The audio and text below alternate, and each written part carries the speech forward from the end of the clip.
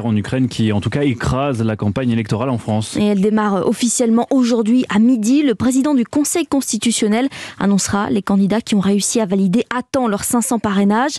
Un coup d'accélérateur à 34 jours du premier tour, Arthur Delaborde. Oui, cette liste des candidats sera publiée au journal officiel et dans la foulée, le Conseil supérieur de l'audiovisuel va commencer à décompter le temps de parole dans les médias. Le CSA doit s'assurer que les diffuseurs traitent équitablement les candidats en fonction de leur poids politique. Pour cela, il s'appuie sur les résultats des dernières élections, le nombre d'élus au Parlement et sur les derniers sondages. Pour ce qui est du coup d'envoi de la campagne officielle, il sera donné 20 jours plus tard, le 28 mars. La règle de l'équité sera alors remplacée par celle de la stricte égalité du temps de parole.